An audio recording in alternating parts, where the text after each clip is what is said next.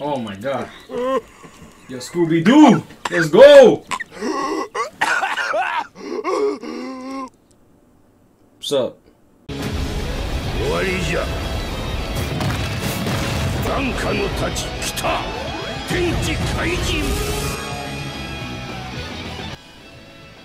Alright, so for those that couldn't tell, I did get a brand new headset. Uh, headset, excuse me. I did get a VR headset, and uh, I am looking for new VR games and stuff like that. I, I actually haven't even set it up yet. Uh, I do plan to pick up Phantasmophobia. A lot of people have been uh, talking about that. I do plan to play with Rawad because he actually got a headset as well as Aron so that'll be sick. And uh, with this, we're going to start the Should You Summon. Now, I think that this is going to be the first banner that I ever actually recommend to summon on the main banner as opposed to the individuals. Uh, not that the individuals are necessarily bad, but we'll get into that as we uh, proceed. So, going into the main banner, I think that the main banner is actually pretty good. We have Izuru, Chojiro, and Yamamoto, the mainstay banner characters, as well as Fierce Battle Ichigo, Tech Hiyori, Jushiro, Shunsui, Tesla, Luppi, and the Halloween 2018 characters. Uh, the Halloween 2018 characters did get resurrected, so they are a lot of orbs should you pull them, and they are new. Uh, one thing to note though is I'm not going to be going into crazy detail with the main banner characters because I already went into length in the stats and skills video and gameplay video. So should you be interested in that, I would recommend checking those videos out. But I will be overviewing them slightly.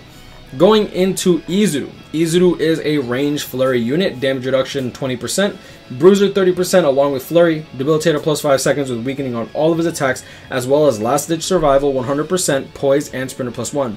One thing to note is that last ditch survival is actually pretty good in PvP with how it works because it also ends up the way that it interacts in PvP is that they no longer use their strong attacks. So once they get revived, they immediately go into their Nad string. Now, Izuru has the same Nad string as Tokinada, and Tokinada does excellent in PvP, and um, that is with this last ditch Revival very, very, very, very strong. He does have the same Nad string as Tokinada, a pushback attack on his first strong attack, which you're honestly in PvP is not going to be very relevant. Uh, you have the 625 into zero into the 1000 with second strong attack. This is actually going to be the same strong attack as, uh, if I remember correctly, like Bankai Hikone. Yeah, Bankai Hikone, Kisuke, Tokinada.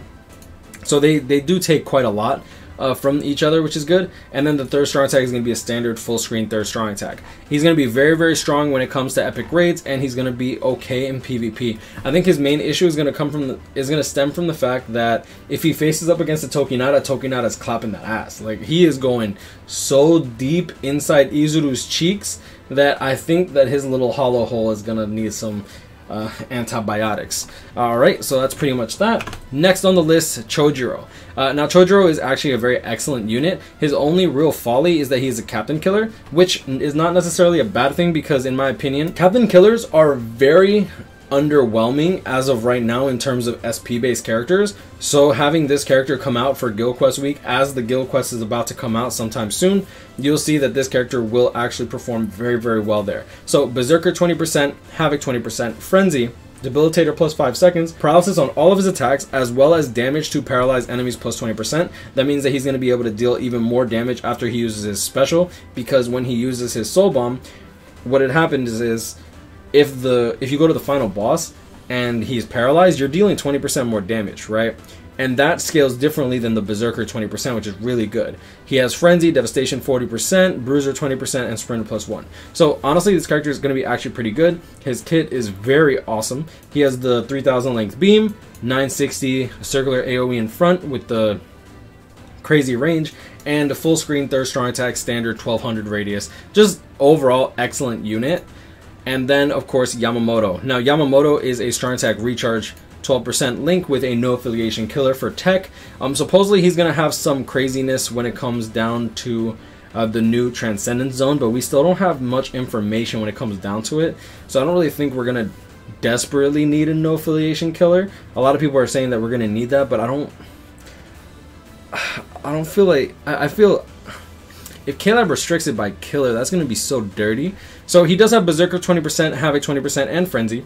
Debilitator plus 2 seconds with burn on all of his attacks. Bruiser 20%, damage to burning enemies plus 20%. Debilitator plus 2 seconds. Oh, excuse me, I already said that. Devastation 40%. And Sprinter plus 1. Now he has three things called innate abilities, which, uh, there it is, innate skills. Fire immunity. So Yamamoto, without having to waste the skill, officially has fire immunity, which is good. Immolator, which means every 5 seconds he has a 12% chance to burn the characters around him in a set radius. We're not quite sure the exact range on that yet. And read no affiliation dodges. Uh, that is going to take place for the new Transcendence Zone. I'm still unsure exactly what that will mean, but pretty much no affiliation characters will not be able to dodge with dodge rate. I'm not sure how that's going to interact with with like the hollows. You know how like the hollows dodge backwards? If the no affiliation characters do that too, I wonder if that'll bypass that too.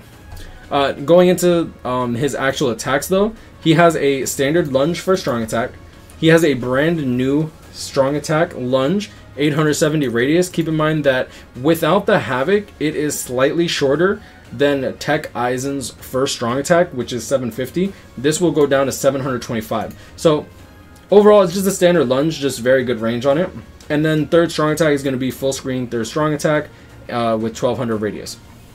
Uh, his special move is obviously standard full screen, and uh, yeah. So overall, banner characters looking very good. I don't think that any of them are broken. I don't think that. I honestly think that if you really want to skip this banner, this banner might not be a bad one to skip. Sure, they're thousand year Blood War characters, but that's how KLab likes to get you, right? They want to pull on your heartstrings and try to make you emotional when it comes to using your orbs. Uh, next on the list, Fierce Battle Ichigo. Very good character. Strong attack recharge minus 12%. Soul Reaper with Soul Reaper Killer. Berserker 40%. Decrease Soul Reaper damage taken minus 20%. Devastation 60%. Frenzy. Hit hidden enemies 100% chance, so you will not need to use the Zeta Ball pill. And Paralysis Immunity as well as Sprinter plus 1. Um, he also has a transformation mechanic on his special move, which means that he will actually transform and reset all his cooldowns. This character, in my opinion, is probably one of my favorite units of the entire year because of how he works.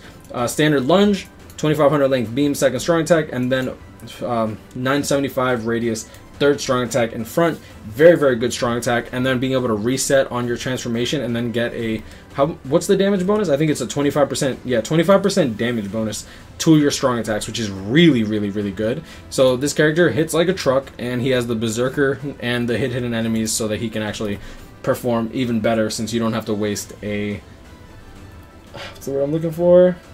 You don't have to waste a an accessory on the Zeta pill. you can just use like uh, fortification pill instead, right? All right, next on the list, Hiyori. All you really need to know: uh, flurry, uh, poise, normal attack damage, 20% link, and sprinter plus one, and weaken defense on the special. Very, very good for epic raids. She's also bonus in about three to four epic raids now, which means that her value, in my opinion, has gone up. Uh, next on the list, Jushiro. Uh, I think he's only really worth talking about because of this. Damage inflicted at full stamina plus 25%. This does not. This classifies for literally everything your normal attack damage, your strong attack damage, and your special move. Actually, very excellent if you're using max transcended units in uh, Guild Quest. This will help you deal that extra damage for your Guild Quest. Next on the list, Haru Yoruichi, probably one of my favorite characters of her time, pretty much. And to this day, she's actually very good. Uh, she has a walking vortex that goes around her as you move across. She has long stride with four flash steps, berserker 30%, bruiser 60% with a normal attack damage enhanced link, so she has a total bruiser of 85%. An Arrancar killer, uh, debilitator plus 5 seconds, paralysis on all of her attacks except for her normal straight attack damage string. Devastation 20% and Sprinter plus 1. This character, in my opinion, is probably one of my favorites. And then on top of that, she has a 450 radius normal attack damage string, despite, uh, oh no, excuse me, because of the long reach plus 20%, which is, oh, it's so good. Uh, next on the list, uh, Soy Halloween Soifon. She was given strong attack recharge minus 10%, which I'm I honestly feel like that's all she really needed. Uh, they gave her a devastation 40%, Enhancer, Frenzy, Havoc 20%, Weaken Defense on her special, and Sprinter plus 1.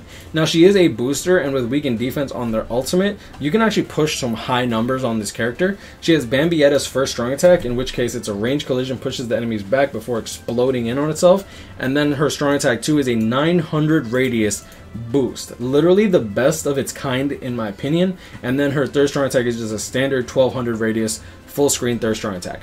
Overall, just good value character. She might not hit as hard because she doesn't have Berserker.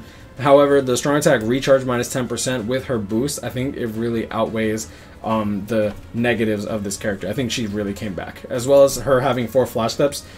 Honestly, there's not really too much negatives going for her, in my opinion. Alright, And that's pretty much all I wanted to cover for the main banner. Going into these individuals, we do have some valuable characters. Izuru, in my opinion, has probably one of the worst banners because of value wise. Like these two, these three premium pool characters are very, very low value. White Ichigo, most of you are probably going to get them naturally. Shunsui, you're definitely going to get them naturally, as well as Veruca. These characters are going to be fillers till the day we die. All right. So uh, going into Halloween, Grimmjow, Berserker 20%, Frenzy, Debilitator plus 2 seconds with poison on his attacks. He is an enhanced strong attack recharge 14% link. He's nothing really too crazy. Uh, his first strong attack is a standard lunge.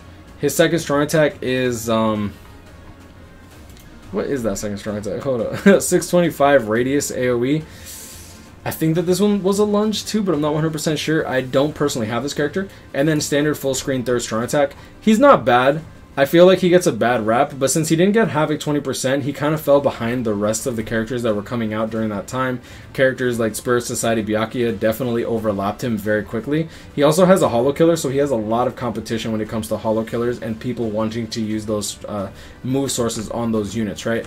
Next on the list, uh, Raruka. She is a team boost, right? As well as um, weakening on all of her attacks besides the boost and the NAD.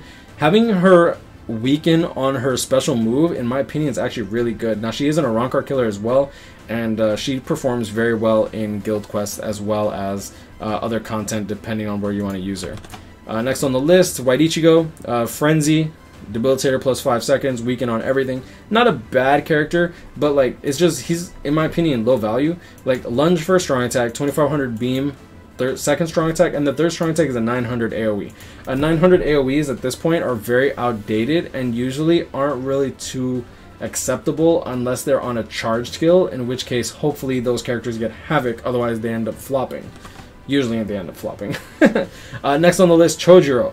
Uh, his banner is actually pretty mid too. Like Lilinette's great, Ishin's actually pretty good, but this Retsu and Ginjo are probably some of the most annoying characters to actually pull. Uh, going into Lilinette, she is a flurry unit, damage reduction link. She is a team healer, as well as a bruiser of 20%, so she does actually get some more damage on that. She has medic, poise, and sprinter plus one. And uh, yeah, I mean, I think she just does very well with an Arrancar killer. Like, I, I personally like using her during uh, melee Arrancar killer week. I just haven't used her this time because I'm trying to push as much numbers as possible. Uh, next on the list, Ishin, Last Ditch Survival, plus 100% Link. Uh, he's he's nothing special. Uh, Frenzy, Debilitator, plus, uh, 2 seconds, burn on all of his attacks. First strong attack, 2500 length beam, pretty good. Shave a second strong attack, and then on top of that, I, I'm not sure what kind of shave this is. 14% magnification is really low. Full screen third strong attack and beam first strong attack, not bad but like he doesn't have strong attack recharge, he doesn't have berserker, he doesn't have havoc, so that really hold, holds him back in this day and age.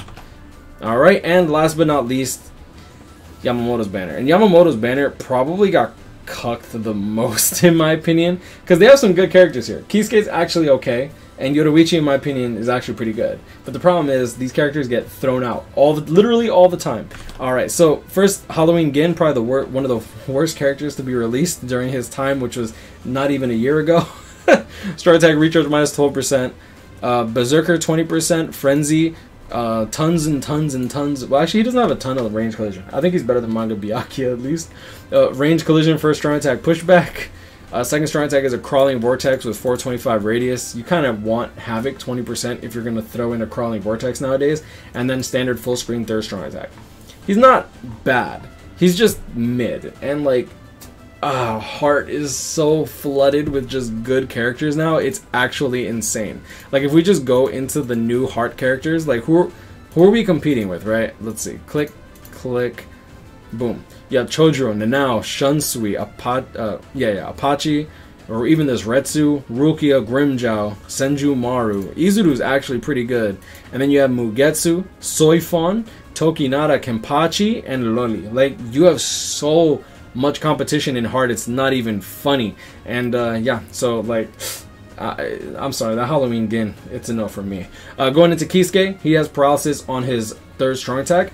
He has weakened on his special, and since this character is very viable to try to get him 5 out of 5 since he's so um, prevalent, honestly, getting pulling this character if you're if you're already pulling on the banner is not the worst thing if you don't already have him five five.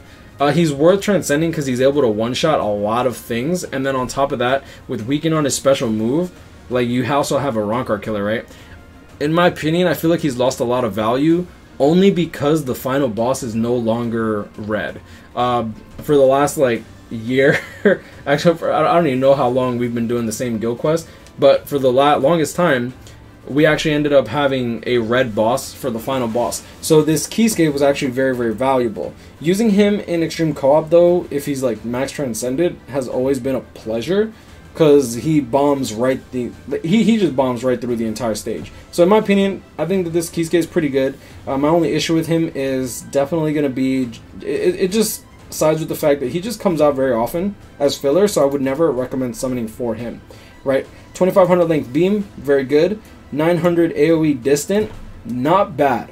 Alright, 900 radius can usually be pretty bad. However, AoE distant attacks are kind of nice because they take place in front of you, so you don't have to run into the middle of the enemies to do uh, your AoE like some of the other 900 radiuses, like you saw with the White Ichigo, like you see with uh, Tag Team. Actually, Tag Team Ichigo is not too shabby, but you get what I mean. Uh, third strong attack is going to be the Shave. Style attack. Now this is actually the shockwave ability, which is actually not bad because if you use him in epic raids, this second strong attack go dummy hard. use your special, get the enemy, get the boss weakened, pop off your second strong attack right next to the boss, and dude, that damage, yo, that that his health bar gone. Just absolutely gone. Uh, obviously, you're gonna want more Kisukes if you're trying to do that method, but I mean, like overall, just the not. He's not bad. Like he's not bad. I, I definitely gave him a lot more crap than he deserved, but yeah. Uh, last and but last but not least, my favorite character in all of these fillers, even though I already have her eight out of five. Strong attack recharge minus 14%, so at worst she's a SAR 14 link, right? Uh, she has enhancer because she's a team booster, frenzy, Sprinter plus one, she is a Yoruichi, so four flash steps. No long reach, unfortunately, but she does have Soul Reaper Killer, which is nice. And to this day, if you have her max transcended, she still holds up very well. She has a lunge for strong attack, full screen third strong attack. And like I said, with the four flash steps and the ability to boost your teammates, uh, I think I feel like she does very, very, very well for herself. And um, standard special move, uh, like she's nothing crazy special, right? But she's like fundamentally good, which is which is definitely, um, it's definitely nice considering this character came out. When did she come out? Uh, let's see, premium. Do this. Ah, there she is. Considering she came out literally March, uh, end of the month, March 2019, and considering she definitely outclassed a lot of these characters, I feel like she's done very well for herself, considering that she's probably one of the few characters that I get disappointed when I see her, but I don't feel bad when someone pulls her for the first time. Right? I feel like that's important. But I'm gonna leave it at that. You guys, grind on, catch up, up, stay blessed. I wish you all the best luck in your summons. I hope this allows you to make a more informed decision. Um, that's like the main reason that I make these videos in the first place. But y'all have a great day. I'm sorry that this video was a lot later than I expected. I had a lot, a lot, a lot of stuff to do. I have so many videos backed up. It's not even funny. Um, for those that are screw it, screw it. I'll do a sneak peek. For those that are um for for those that made it to the end of this video, here's a little sneak peek of what's to come, bro. Just just a tiny tiny sneak peek of what's to come, bro. Anyways, stay blessed. I'll see y'all on the next one. Peace.